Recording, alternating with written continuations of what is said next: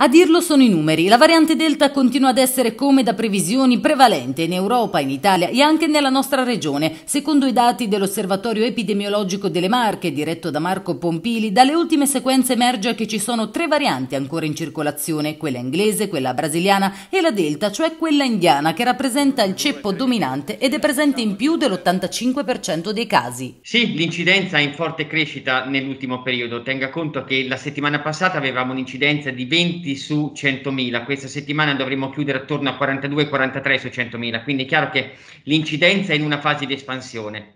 Detto questo, la correlazione con i ricoveri non segue le dinamiche che magari avevamo prima. I ricoveri sono molto più bassi rispetto a prima. Anche oggi c'è un uscito in terapia intensiva, quindi questo è importante perché rimangono comunque bassi.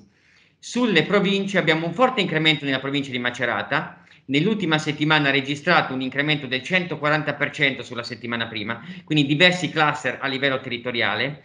La provincia di Fermo, anche la provincia di Fermo ha un'incidenza verso i 30 su 100.000, poi la provincia di Pesaro Urbino, che nell'ultimo periodo, soprattutto nell'ultima settimana, ha registrato un incremento minore delle altre province.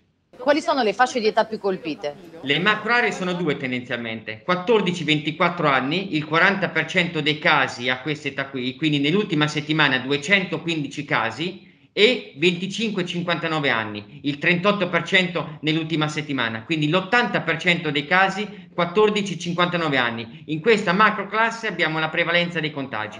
Il direttore poi ha parlato dei vaccini che stanno producendo un effetto positivo sul quadro generale e così come è successo in Inghilterra, anche nelle Marche gli esperti si aspettano una flessione della curva epidemica. E quante persone ricoverate per Covid non avevano ricevuto il vaccino o soltanto una dose? Cioè, nei casi dell'incidenza il 31% aveva una dose, tendenzialmente. Su ricovero no. Abbiamo un caso che però aveva il vaccino Sputnik, che è in terapia intensiva nell'area di Pesaro.